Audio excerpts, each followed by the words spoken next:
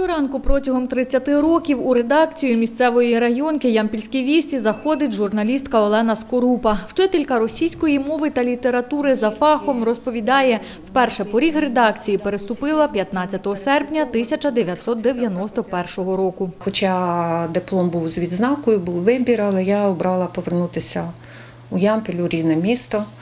Але у ті часи е, з працевлаштуванням були проблеми, вчителів було достатньо. Ось, і е, дізналися, що в редакції тоді звільнилось місце коректора. І мені запропонували, запросили на роботу. Спочатку, розповідає Олена Скорупа, працювала на посаді коректора, згодом потроху почала дописувати в газету, навчилася верстати. Зараз усе це робить сама.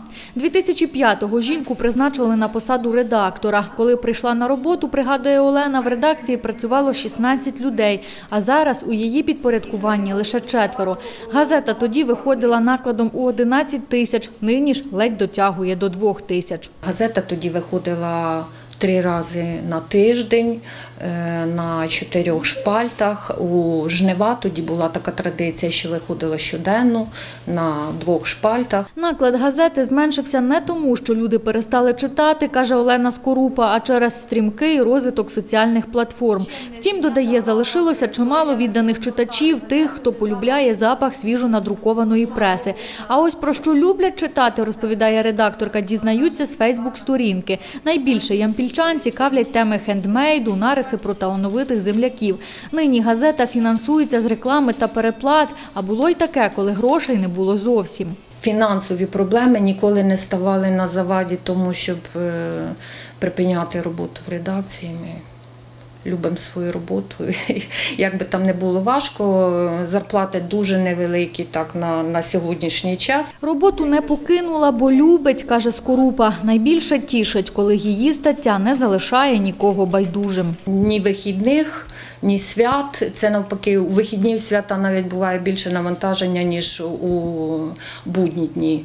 Е, люблю роботу, тому що вона творча. Нерідко, говорить Олена, роботу доводиться забирати додому, вичитувати статті чи верстати номер. Втім, додає, родина за це ніколи не дорікає. Ставляться з розумінням, тому що.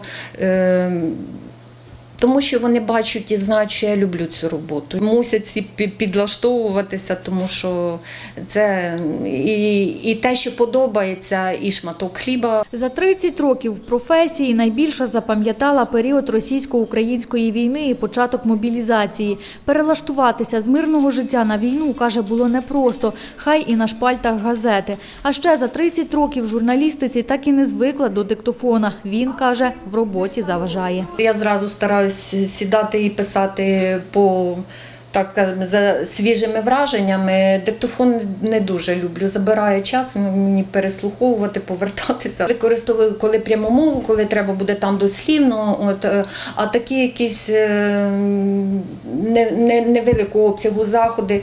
Та й навіть і велику, от і сесії я пишу, я по, по ходу записую, мені так легше. Яна Копачинська в редакції працює відповідальним секретарем. Наразі допомагає Олені Скорупі з редагуванням та набором тексту. Керівник каже, вона суворий, але справедливий. Коли я прийшла перший день на роботу, мене посадили біля неї за стіл, і от вона перевіряла мене швидкість мого набору, як за, е, за скільки часу я можу набрати текст, як це наскільки він був вірний, без помилок. І от з першого дня, от я як зайшла в той кабінет, і от ми разом всі 20 років я разом з нею працюю. Олена Скорупа каже, у цій професії є набагато талановитіші люди, втім йти з посади не планує, бо робота в журналістиці для неї – це постійний пошук та вдосконалення. Руслана Ткачук, Сергій Кошарський. Новини на Суспільному Вінниччина.